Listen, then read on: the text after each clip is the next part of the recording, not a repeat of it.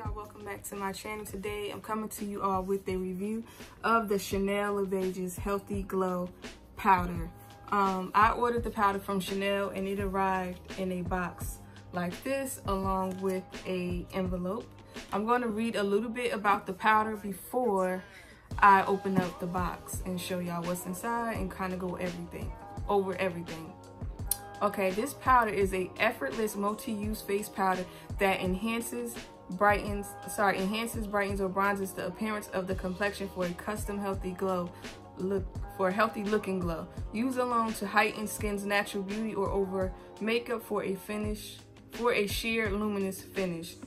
Um, along with the uh, powder, it does come with a brush it's um, a half moon shaped brush. I think that's really recommended for you to use the brush with this, but it's kind of your uh, preference. Also, you can, like it said, you can use this powder as a bronzer or as a um, finishing kind of like setting powder. Depends on what shade you get and your skin complexion. I decided to get the deepest shade because I wanted to use it for as a all over powder. But let's get right into unboxing it. And in the envelope, this is just a uh, copy of the um, receipt and the tracking label. But this is what the envelope looked like. It's black and it says Chanel on the envelope. That's what the box looks like. Let's open it up. I love Chanel packaging. Like, it's just the best. And it comes like this in the wrapping paper. I don't know if you guys can see it has Chanel on it and it has kind of like the sticky thing with the Chanel logo on it as well. I'm not going to tear this open because I want to keep it exactly like this. And along with the powder, I got two samples from Chanel that came in a baggie like this. And the samples that I picked was the uh, mascara. I haven't opened this up, obviously. And I also decided to go with the hand cream. And this is what that looks like. And this is what the box looks like. And I went with the deepest shade, which is number seven. And it comes in a little baggie that looks like this that says with the Chanel logo. And this also comes in a like a limited edition packaging. I believe, or special edition, I can't really remember, where it has like Chanel written across in cursive. I went with this packaging because the shade I wanted, they didn't have it in that particular uh, packaging. So I just went with the regular classic uh, thing with the Chanel logo. And it's the same price as well. But this is what it looks like when you open it up. This is the brush that comes with it. And that says Chanel. And this also what I like comes with, this comes right here, this comes out as well. So you can kind of sit your brush on top of this when you finish using it or you could take it out. It's kind of up to you, but I think I'm to leave mine on here so I can sit my brush on top of it when I'm finished. This is what the shade looks like. I think it matches me pretty good. I could have went with a few shades lighter, but I just wanted to use this particular shade as a face powder. I didn't want to use it as like a under eye. And clearly I can't use this as a contour shade, but anyway, so I'm going to apply it to my face, wear it throughout the day and give you all, give you all my opinion. But yeah, this is back look like just in case. I'm trying to make sure I go over everything in this video. But anyway, yeah, let's just put it on my face, see how it apply, and then I'll wear it throughout the day. Okay, y'all, I just um put the Chanel uh, water tint on, and I have some of the Laura Mercier um translucent, the translucent, the new um shade honey. I just got that under my eyes for a little bit, and I'm gonna press that in before I start putting this all over my face. So give me a second, y'all.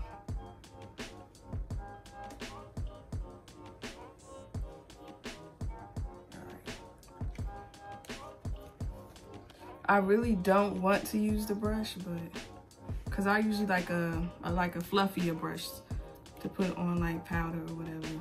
But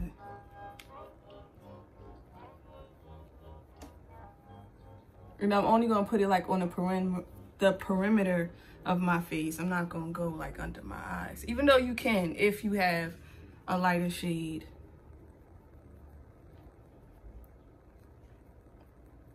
Yeah, I don't like this brush. Let me use use this one. You see, it do have a little, quite little color to it.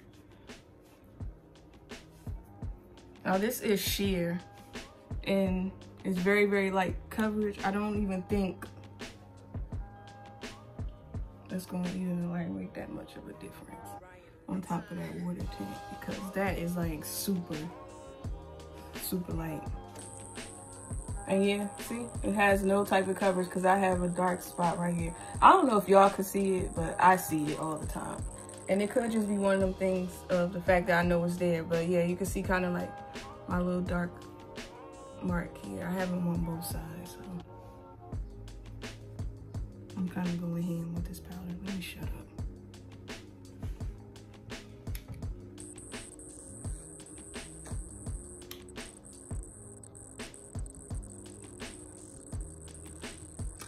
Okay, y'all, this is what my face look like.